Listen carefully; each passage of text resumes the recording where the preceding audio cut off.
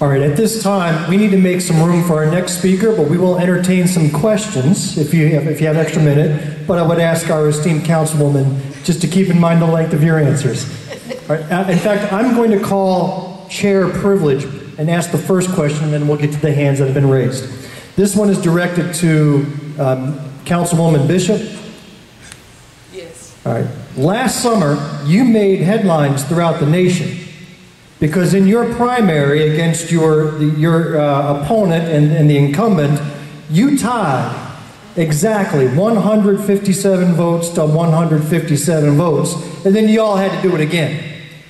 Now, what I want to call out is that there are over 7,000 voters in your district, give or take.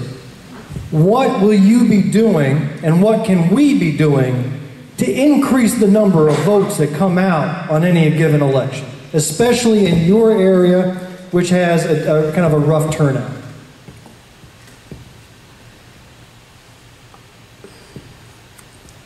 That's the thing, Bill. A lot of people don't vote because they don't believe in who in anybody that's actually running. So one thing about me, the reason why you didn't say how many votes I ended up with the second time, but the reason why I almost I, I had I think almost hundred more votes than she did that second time It's because I actually got on the phone and I started calling people. I had other people calling people and I asked for votes. I asked, I, and see, that's that's that's unheard of for somebody who is actually trying to run to actually call. And I'll still call afterwards. But I just think we got to start believing in ourselves again and in our democracy again. And, and so as we do that, more people will get up and vote. But if there's a lot of people, if they don't believe in the people that are running, they don't vote. Thank you. I have a question. Um, pri- before you were talking about some eateries and people not going to work, and uh, I do DoorDash all over, and uh, and um, I noticed that a lot of people don't have transportation. And at another meeting, I make, brought up the uh, aspect of Matt Transit, uh, and I wasn't sure if it was the county or the city that wrote the grant that it, it, at least have them so that they charge a dollar one way, uh, whatever. But if that could be expanded beyond the four mile radius, uh, and that's one question. And the second one is talking about eateries. My understanding there was going to be a Chipotle on the property of the Belks, like across, I guess, from Chick Fil A or whatever. There was fencing up there. Belks blocked it somehow. I'm not sure what the reason is, but I noticed the fencing came down. Is there anything the council can do that? Because I'm an advocate for healthy eating, and that is definitely one way to eat healthy. I mean, the only way I go to Chipotle, well, I'm from Houston, so, but I have to go all the way to Greenwood. You know, I have to plan activity in Greenwood in order to go to a Chipotle. So, do you know anything about that debacle there, or if they may build over where Buck Stove is? Um, as far as Matt Transit, um, it's the county, but and, and one thing about it, it is growing. It, it, it just takes time, um, but it, it's it's slowly growing, and it's been really doing really good because it, you're right.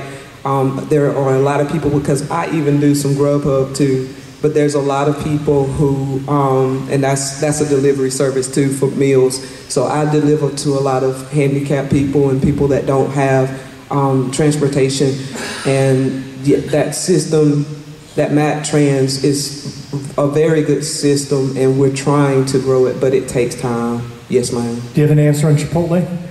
Any With- with- inside in, any inside with, info? With Chipotle, I think that was something that the city had was doing, so I'm not 100% sure about that, but I can still ask. All right, we have another question here.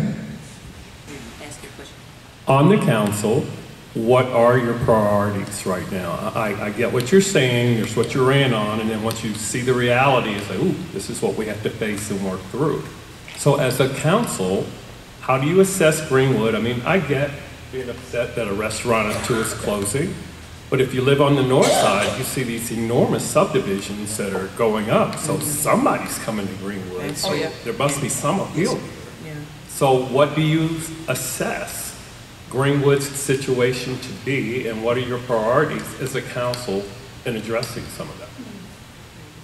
Well, I can't speak for the council itself. I'm only one, but um, I, I'm always, I'm always a positive person. So, and and I feel like, because I know I saw where they said we had been on the board for a year already. We have not. Um, the year will end up. Will, our year will begin in January. So we're. I'm still learning, um, but I do feel like collectively as a board, we we do work well together. We've come, you know, we come up with a lot of things that um, is new to me, even though I've been in Greenwood all my life. And so it's good to be a part of helping try to make good decisions for Greenwood. Um, I just feel like we're trying to do everything that we can to make sure that we make good decisions as you know the different um, the different things come up as far as you know when it's time for us to have meetings. So I encourage you to come to our meetings or even watch our meetings on our YouTube channel. Um, and so you can know and be informed of what what's going on. Um, some things have you know come up to us that you you can't necessarily just say you know out in public until it's time.